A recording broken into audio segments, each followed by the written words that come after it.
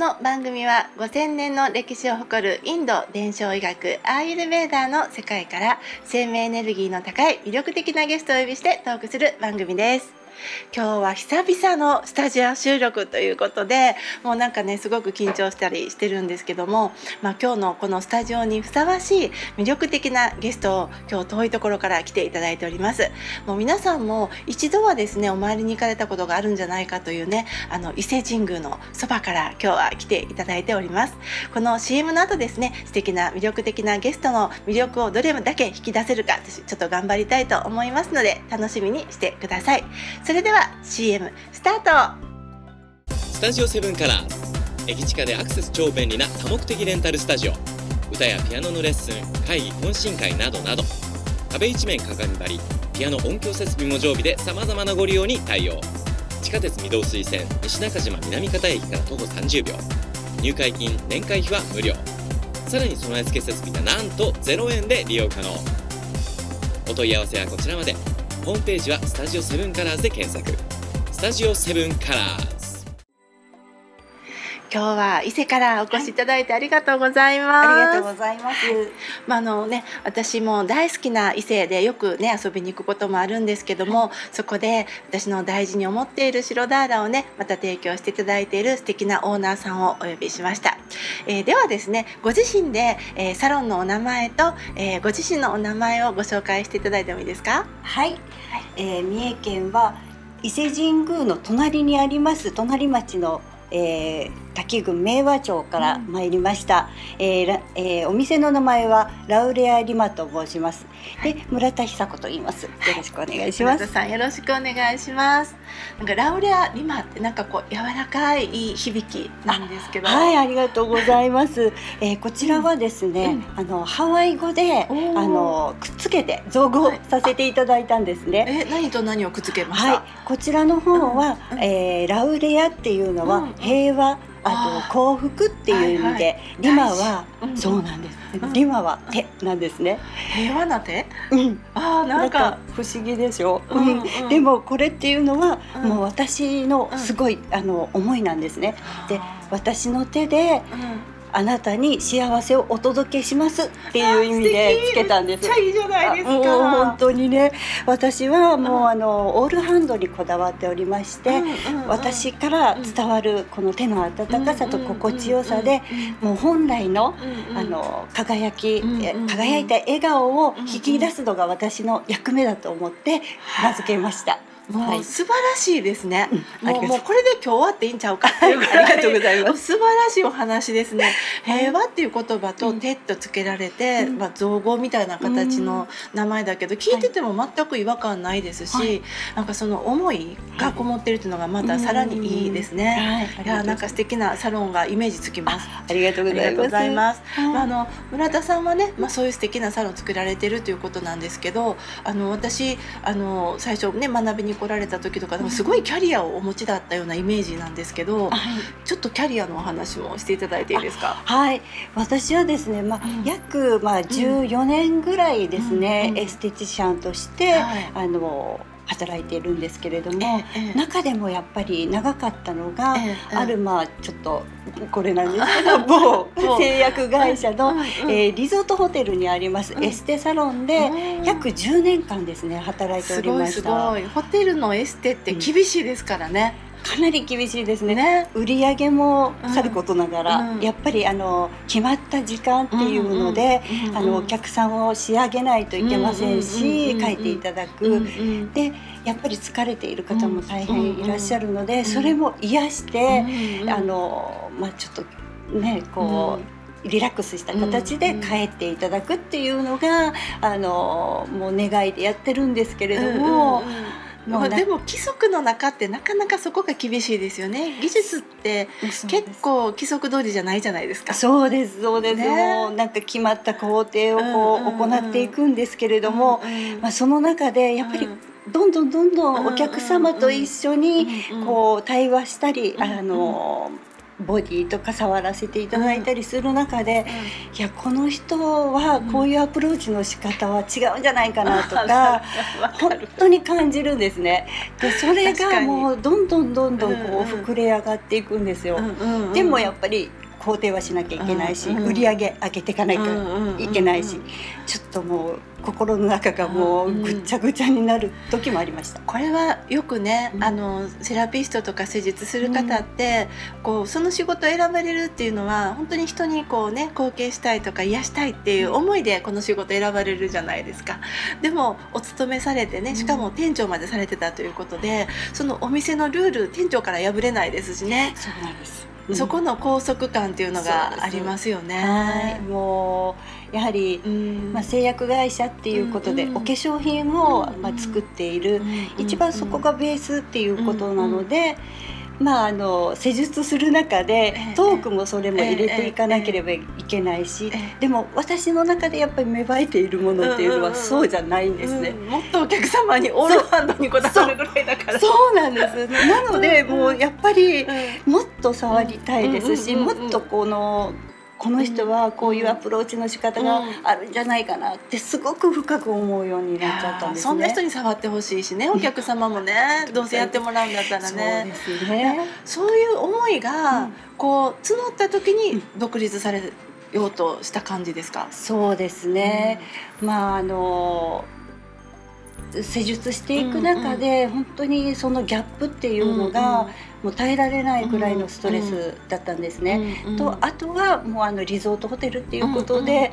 まあ夕食後お顔をお願いしますとか、うんうん、まあ、寝る前にボディをお願いしますっていうことで、やはりあのー帰りがちょっと遅くなってしま確かにそうですね。そうですもう、で私ゆっしてからや受けたいですよね。そうそうそうそう。だからそれはすごく私も、自分もそうだからわかるんだけれども、あの通っていたところっていうのが、車で約1時間なんです。結構遠いですね。そうなんです。はい。で、そこに通う中で、まあちょっと疲れてくるんですね。やはり肉体労働して、そこから1時間運転ってきついですよね。もう本当にもうちょっと居眠り運転とか危ない危ない 危ないんですよ。本当にもうちょっと危機感はあったんですね。でそういうこともあって、やはりちょっとこのままでは私が自分が壊れていく感じがしてしまって、で好きだったその施術も、あなんかなんか嫌いかもって思い始めて、それ辛いね、はい、だって大好きなものが嫌いになっていくって悲しいし、ね。そうですね。だから、好きなんだとか思いながら。聞かせながら。そうそうそうなんです。そはい、あそういうことがあってそのまあね長いキャリア大手で勤めて、ホテルのね、はい、あの店長までされてたっていうところから、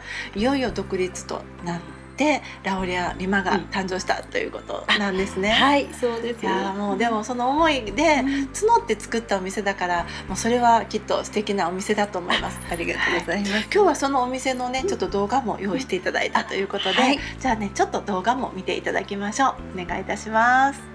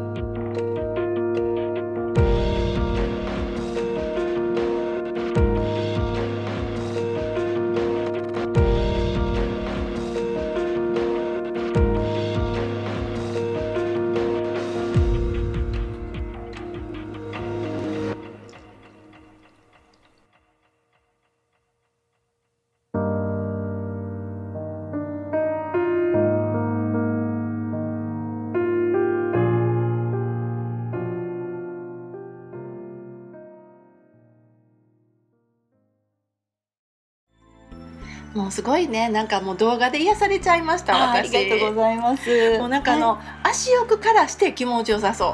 そうですね、うんうん、皆さんすごくね、うん、あのほっこりとしてくださるんですね。で実はあの、はい、フットバスでにもやっぱりあのちょっと秘密こだわりがあるわけですね。どんな話ですか？はい。はい、あの昔ですね、伊勢山宮をする時っていうのは、皆さんあの、二見ヶ浦って、あの近くにあるんですが、そちらの方でみそぎをしてから下空内空とお参りするのが習わしだったんですね。知らんかった。知らないです今まで行ってたけどやってないですね。皆さんやっぱりあのの内宮さんにお参りするだけとか、はい。えー、おかけ横丁とか。でもうなんかうん、あのつまみ食いのような、えー、あの食べ歩きをするとかってあるんですが、昔はそうやってやはりあの神様ごとっていうことなので、えー、そういったところでちゃんとみそぎをして、下空に参って、えーあそうですね。はい、はい、内宮にお参りしてっていうのが習わしだったんですね。でそれにあやかりまして、あの二見ヶ浦の海水を汲み上げて炊き上げたお塩をですね、なんとフットバスになんと贅沢、入れてます。みそぎができるわけですね。そうです。うちでみそぎを していただいてるって感じです。あ、それはちょっと贅沢ですね。普通のフットバスじゃないですね。そうですね。やはりあの浄化作用っていうのもありますので、まあもっとこうリラックスもできてすっきりとすると思います。いやもうそれダウエアリマさんならではの伊勢ならではね。もうその真珠も伊勢っぽい感じで、ありがとうございます。綺麗ですね。はい、伊勢島の真珠でございます。やっぱりね、伊勢の雰囲気が漂って。はい、ありがとうございます。まあ昔からね、もう皆さんがお伊勢参りっていうほどね、皆さんがもう恋焦がれていくところで、まあ素敵なサロンをね作られたということなんですけど、まあいろいろなそのキャリアを積まれつつもお悩みがあって、その中でこう自分の中でこう高まって独立されて、実際サロンオープンされてなかなかね、まあ、私もいろんなこう皆さんの生徒さん見てると、スタートしていきなり順調にいかない人が多いんですけどそうです、ね、やっぱ苦労とかありました？はい。もう本当に、うん、あのまあ、一週、えー、と一年ですね、経ってくるんですけれども、やっぱり苦労 ありがとうございます。苦労の連続でございましてまああの立ち上げた時がコロナ真っ只中の時なんですね。タイミングがもうなんでこのタイミングっていうね。そうなんです。でもこんなお客さん来やへんやんっていうぐらいの時にあのまあ、立ち上げてオープンしたんですね。なのでそれはもうお客様もなかなかあのはいエステってね、ちょっとコロナでは厳しいですよね。そうです。お顔触りますからね。そうです。もう対対面も本当に、どうでしょうかこれ50センチぐらいのところでお客様をさせていただくような形なので、やはり皆さんとちょっと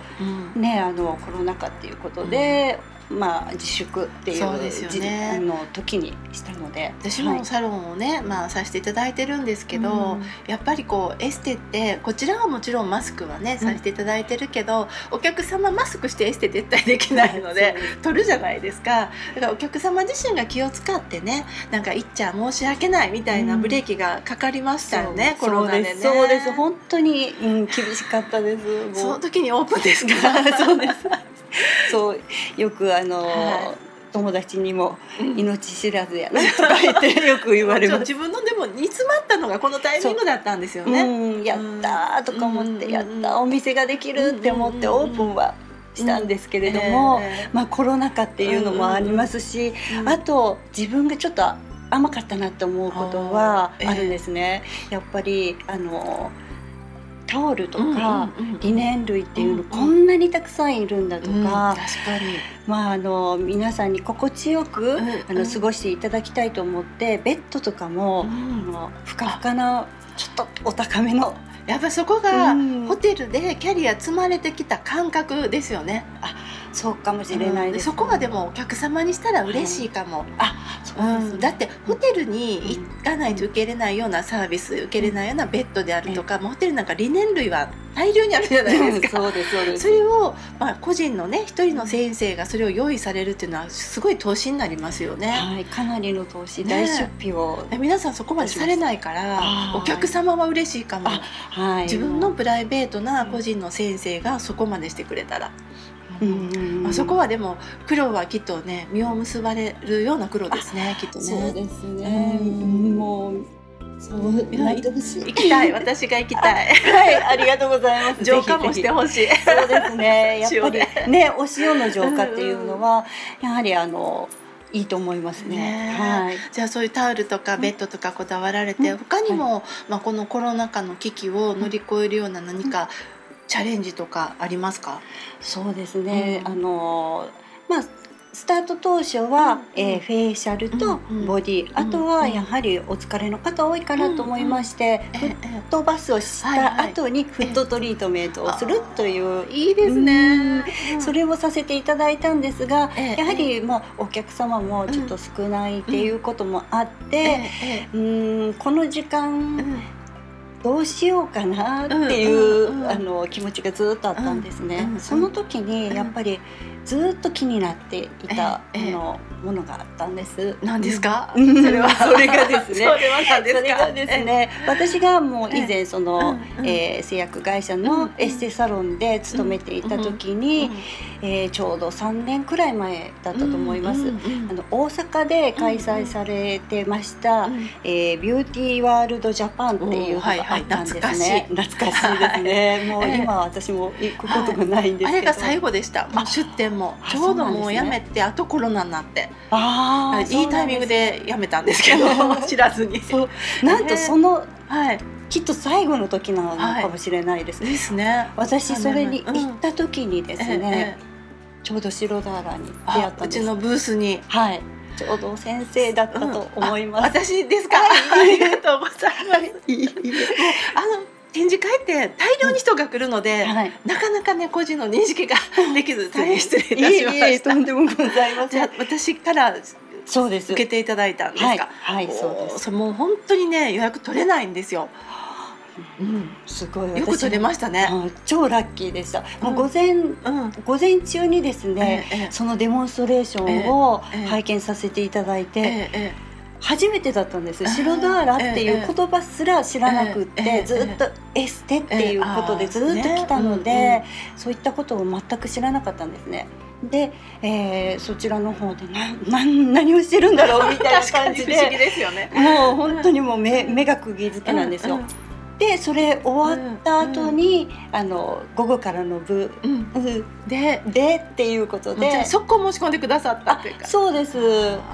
もう人を押しのけていきましたんで私。はい。押しのけていきまして、予約をしたんですね、すごい。じゃあそこからのご縁で、じゃあそのエステの中に入れていただけたわけですね白ダーラを。そうなんです。やっぱり、私があのずっと勤めてて、こう思ったことっていうのは、やはり先ほども言ったように、あの一人一人やっぱり、うん、疲れている部分とか、お肌悩みだったり、みんな違うんですよね。確かに確かに。それを一辺倒なその形の流れでやるっていうのが、私には違和感がずっとあって、そこを考えてた時に、じゃあその外からのアプローチだけじゃなくって、もっと中も変えていかないといけないんじゃないかなまさしくすっごく思ったんです。シュダーラは脳からですからね。中から変わりますからね。そこでやっぱり、あれあの時に、そういえば見たのって、私も体験したのって、ここに落として脳だったよねっていうのをまた思い始めて一、回受けに行かないと、もう一度ちょっと体験してから考えようかなと思って、はい、体験確かに来てくださいましたもんね。そうなんです。はい、そこは覚えてます。ありがとうございます。そうなんです。体験をして、で。やっぱりこれだなと思って、で先生からもあのお話うん、聞いて、うん、私が考えてること間違ってないんだっていうのを実感した時に、うん、これ、もうメインでやっていきたいなぐらい嬉しい、うん、だって本当に生身の体ですから、ロボットじゃないから同じことで同じ結果出ないですもんねそうなんです、もう違和感だらけだったので、まあ、それが悪いとは、あの決して思わないんですが、私の、私が思うこの、健康とかっていうのは、やっぱり健康であるからこそ美しい肌も作れるのにっていうのにたどり着いたので、うん、嬉しいな、まあ、そんな思いの中白ダーラを入れていただいて、今もねもうメインにしたいという思いでしていただいて、実際白ダーラ入れていただいて変化ありますか、そうですね、あの皆さん、まあ、おっしゃるのが、あのしまあ目ですかね、うんうん、目がすごく、うん、あの視野が広くなったよとか、はいはい、視界がくっきりとかっていう、おっしゃる方もいらっしゃって、でまあ運転して、はい、あのうちの場合は結構こうあの運転してこな来ないと。地方のあるあるですね。地方あるあるです。はい車運転であの疲れ目で来られて白だらを受けて帰られます、途中から電話してくる方いらっしゃるんですよ。帰りの途中で。そう,、そうなんです。で怖いじゃないですか。何かあったのかなとクレームかなとか思 そうそうなんですよ。なんかやっちゃったかなって思ったりして、であの電話取ってどうされました？って言ったら。っと何これ？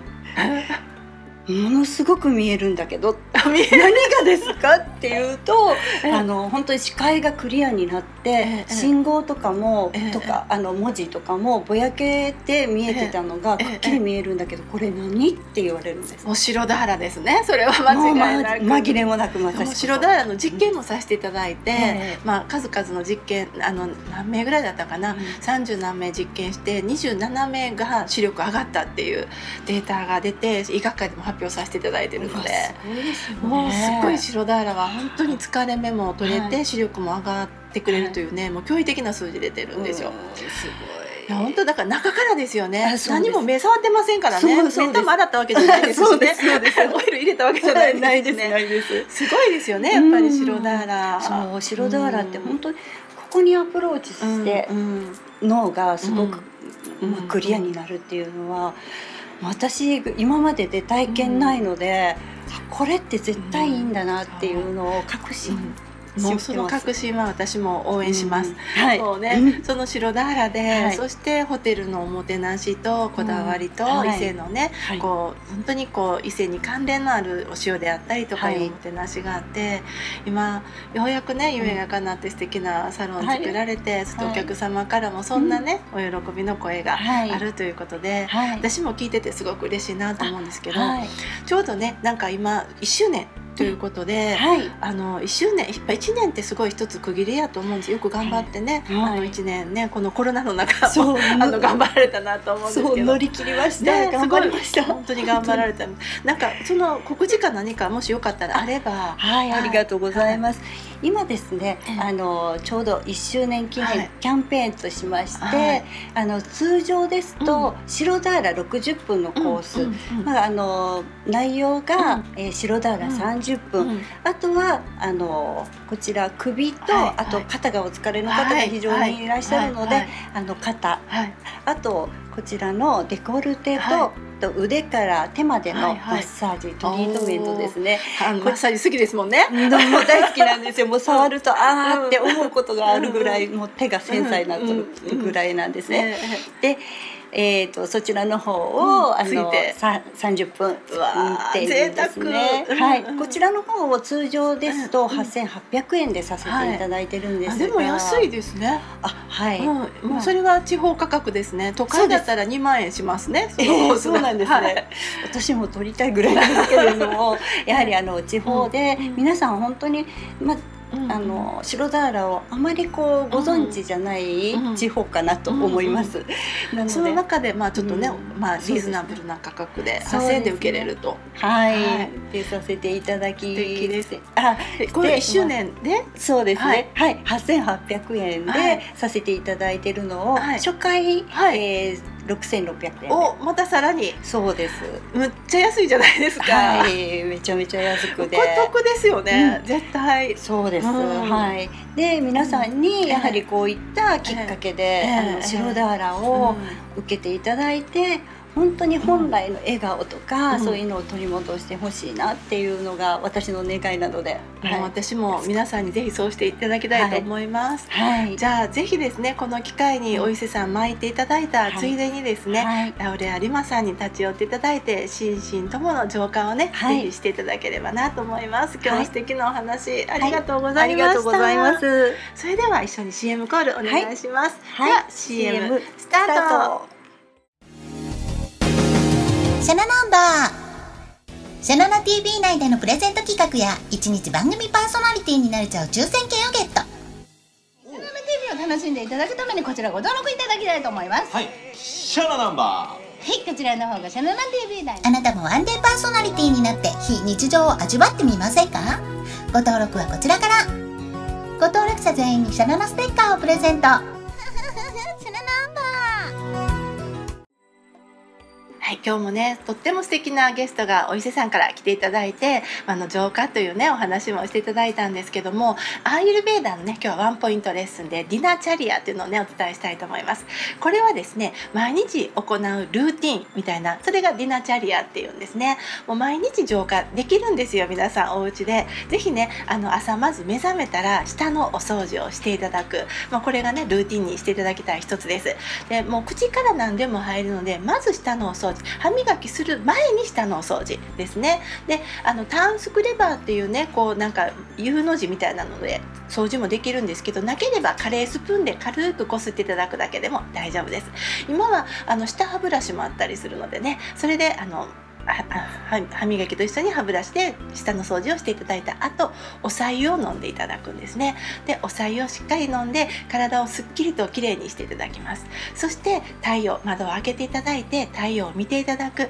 太陽のエネルギーをねしっかりこう受け止めていただく。それを毎朝のルーティン浄化からスタートしていただくと、まあ、日々ねディナーチャリを続けていただくことで5年後10年後の健康の、えー、まあ、一つ基礎づくりになっていきますので是非ねこの皆さんさんできるところからやっていただきたいと思います。それではですねまたあの次回も素敵なゲストをお呼びしておりますので楽しみにしてください。では皆さんまた。